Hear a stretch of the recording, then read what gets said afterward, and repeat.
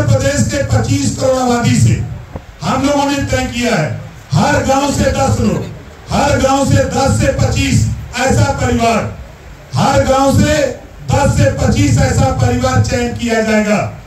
कि कोई योजना नहीं पहुँची। ऐसे परिवार को एक साथ सभी योजनाओं का लाभ दे करके उसको गरीबी रेखा से ऊपर उठाने का काम ज़ीरो पावर्टी स्कीम से करने की तैयारी